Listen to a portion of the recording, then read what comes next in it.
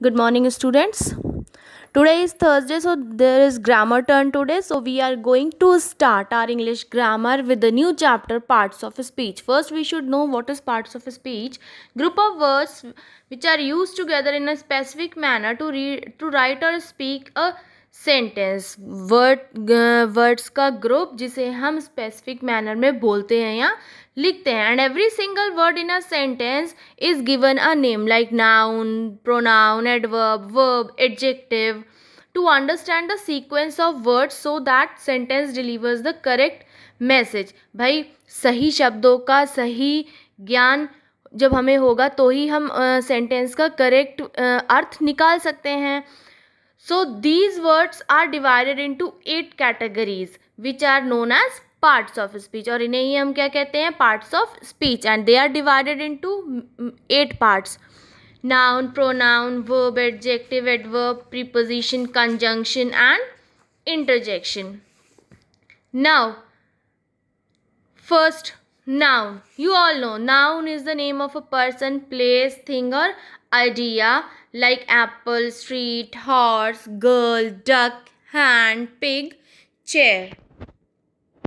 Now here comes the next pronoun. Pronoun a word which is used in the place of noun जिसे हिंदी में आप सर्वनाम कहते हैं okay like I, us, he, we, she, they, it. These are your some of the pronouns. Verb verb express action और being in Hindi you have read की जो हमें सेंटेंस में कुछ चीज़, कुछ कर्म के होने का बोध कराए, उसको हम क्या कहते हैं? वर्ब जब हमें पता चलता है कि सेंटेंस में क्या एक्शन हो रहा है like dancing reading eating playing singing walking sleeping तो these all are your verbs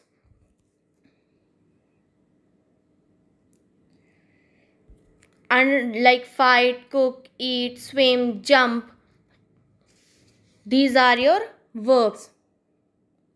किसी भी चीज़ के होने का बोध कराता है एडजेक्टिव मोडिफाइज और describes a noun on pronoun adjective आपको पता है जो नाउन या प्रोनाउन को डिस्क्राइब करे like sad tall happy open close injured rich poor empty full old new sweet yellow ये सारे आपके एडजेक्टिव होते हैं जो हमें नाउन प्रोनाउन को डिस्क्राइब करते हैं, उनकी क्वालिटी या क्वांटिटी बताते हैं। Adverb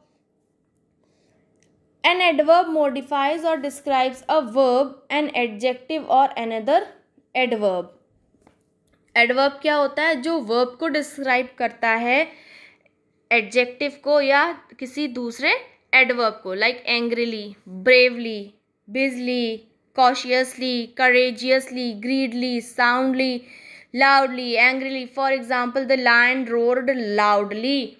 So it is it is describing the verb roar कि कितनी तेज रोर कर रहा है लाउडली बहुत तेज तो that is known as adverb तो here I have explained you the five parts of speech and these parts of speech you have to revise you have to learn you have to understand and if you are having any problem in these so you can ask without hesitation which parts of how many parts of speech are there? A eight noun pronoun verb adjective adverb preposition conjunction interjection.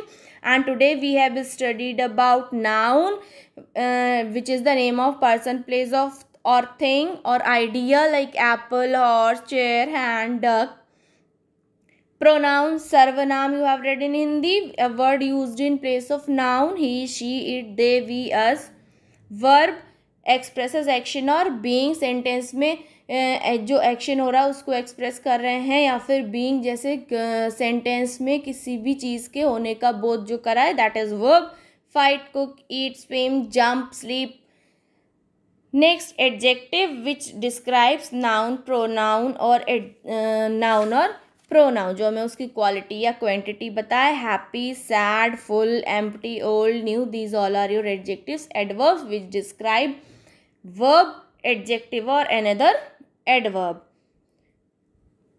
so here are your five parts of speech. Go through them. If you are having any problem you can ask. And don't forget to put your attendance in your classroom along with your name class and section. Thank you